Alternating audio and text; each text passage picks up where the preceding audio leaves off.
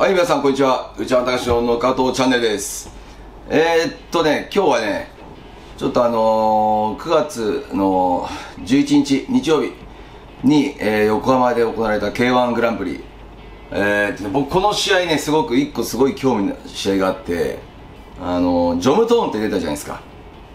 あのなんだっけ、えーっと、ヒマラヤンチーター、アビリュールヒラヤマンチーターとやった選手のジョムトーンっていう選手なんですけども、まあ、タイ、タイのね、選手なんですが、この選手ね、すごく興味持ってて、まあ、なぜかというと、僕、世界戦の防衛戦の10回目の時に、ジョムトーンってやったんですよ。そう、だからジョムトーンがその時、50僕の階級スーパーハイザー級59キロで契約して体重落としてきてやったんで確かあの時10何キロ減量したって言ってましたねうんでそれがね久しぶりにこう日本にリングに来るって言ってしかも K1 の舞台で戦うっていうことでまあもともとねムエタの選手なんで蹴りが得意なんですけど、まあ、パンチもすごく上手かった選手だったんで僕自身こう構えた時にあこの選手強いなと思ったんですよそのね試合でやった時に。まあ結果はね、あのー運よく2ラウンドで KO で勝つことできたんですけどただ向き合った時に本当にあこいつは強いっていうのを感じた選手だったんで、まあ、今回非常に楽しみでねキックでどういうふうななるんだろうと思ったら左ハイではい。ガード越しでしたもんね、はい。こう構えてるここら辺に当たってそのグローブので倒れましたもんね。いやすごいなと思って。蹴りはね怖いですねやっぱね、はで結局あ1ラウンドのラスト3秒ぐらいですか。でまたもう一回ね。ね白目にストレートでダウン取ってで、まあ、KO 勝ちっていうことで、い、やーなんか見ててねもうちょちょっと僕もねジョムトーンってややってるんで試合はねやっぱジョムトーンの応援ちょっとしてたんですけどもうん強かったですね、はびっくりしました。身長差がだいぶありましたよね、はい。うん、なのに全然こうなんか当てさせないというか、はまっすぐ強かったなとねびっくりしましたよ。最初左ハイでダウン取った後も結構パンチを効かせてますそうですね。何発かパンチも当ててて効いてたところもあったんで、うん、でねやっぱ冷静でしたね、はい。最後あのダウンストレートでグラーンとなったところもしっかり見てもう一発また左ハイキックをね顔面に入れてましたからね、うん、もう恐ろしく冷静だったなっていう、はまあでもねボクシング日本でやってた時もあボクシングやった時もやっぱパンチをほぼほぼもらわなかったですもんね。うんボクシングの時も。で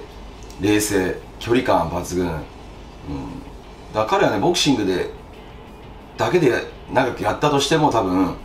まあ世界を取ったぐらいやっぱ強い選手だったと思うんですよね。いだから内山さんとやったちょっと驚いたのがまだ33歳。今ですよね、ええはい。だから僕とやったのが何年前？だ2014年。だから8年前7年前、はい。だから25とか中盤。はい。2656ぐらいだったんですもんね、は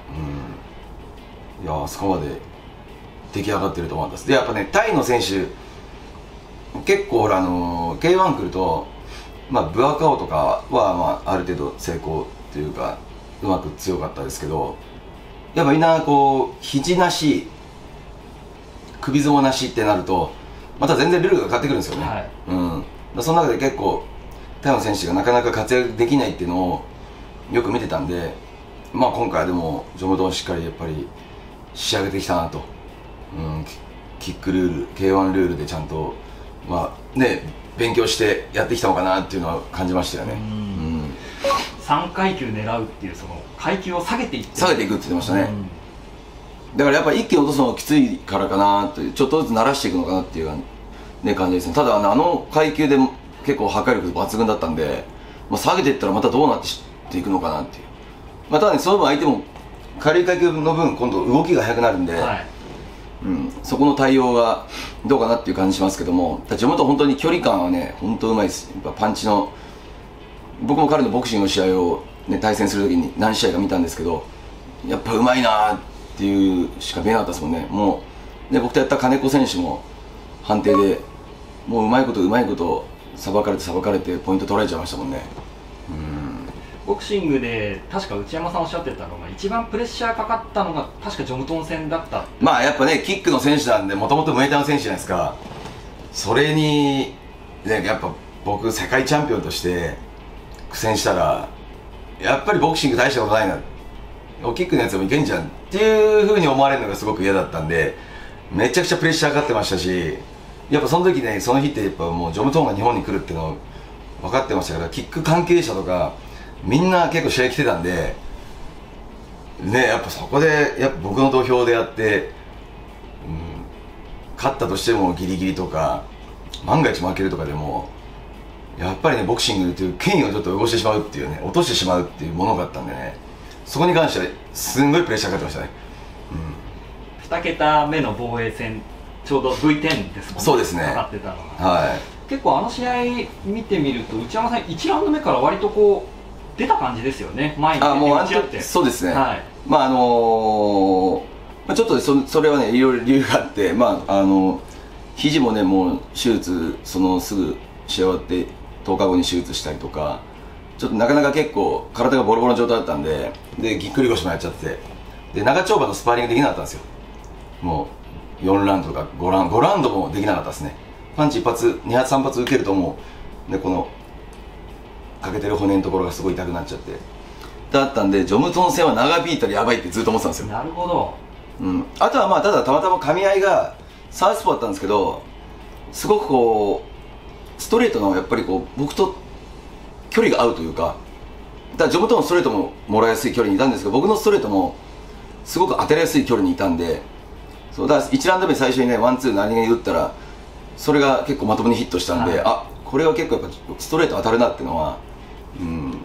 だから2ラウンド目も思い切って振り抜いていきましたけどそれがまあたまたま当たってね倒れたっていう感じだったんですけども。うん。だからまあでもジョムトンはやっぱ格闘家としての強さは、うん、人間としての、ね、本来強さっていうものはすごくやっぱ感じましたね。うん。1ラウンド目のあのワンツー最初のワンツーでジョムトーンの右目ですかね、はい。だいぶこそうですね。もうねずっと多分チカチカしたと思うんですけど、はい。うん、な2ラウンド目の時はねまたスッと戻ったんであれ？と意外とそんなダメージいってないのかなっていう感じはしたんですけど。まあやっぱ同じストレートでしたう、ね、うん。うん。ドンピシャの。あのストレートがやっぱ何発か当たってたんでまあだからまあね終わったから言うわけじゃないですけど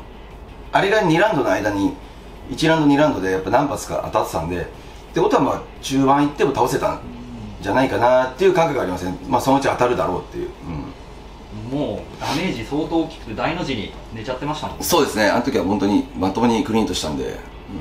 うん、100%立てないと思いましたからね。はい。結構こうよろよろバターンみたいな一回こらえたんですよ、はい。ガクンってなって一回こらえたけどまた倒れちゃったって感じですもんね。技術的なところで左相手にワンツーってはいはい。どどうなんですか？打ちやすいのか打ちにくいのかって。いやまあその人の距離の取り方とやっぱ構え方によりますよね。うん。やっぱいやすげえやりづらい選手はやりづらいし。うーん。なんかこれ簡単に当たりそうなんてもう構えた時に分かる時は分かるんですよ。うん。ただねジョブトンの時は構えた時に当たりそうだなって思ったんですけどでも結構みんな当たってないしな今までの相手が、うん、だからこれ当たらなそうでやっぱりなんか意外と当たらないのかなと思ってやってたんですけど何気なく踏み込んだワンツーやっぱ当たったんであちょっとストレートに意外と対応できたなっていうのを感じましたね。2015年に内山さんが戦った選手が今 K1 でね。3階級を狙う、狙うっていうでまだ33歳って言ったらびっくりしました、い、や俺た時そんな若かったんだと思って。いやね3階級制覇ってね逆3階級ってまた珍しい。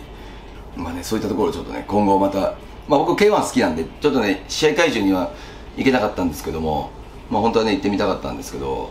うんまあでも K1 もやっぱいろんなそういう選手がやってきて面白くなってきてるんでまだまだ注目していきたいですね、うん。えーご視聴ありがとうございました、えー皆さんチャンネル登録もよろしくお願いします。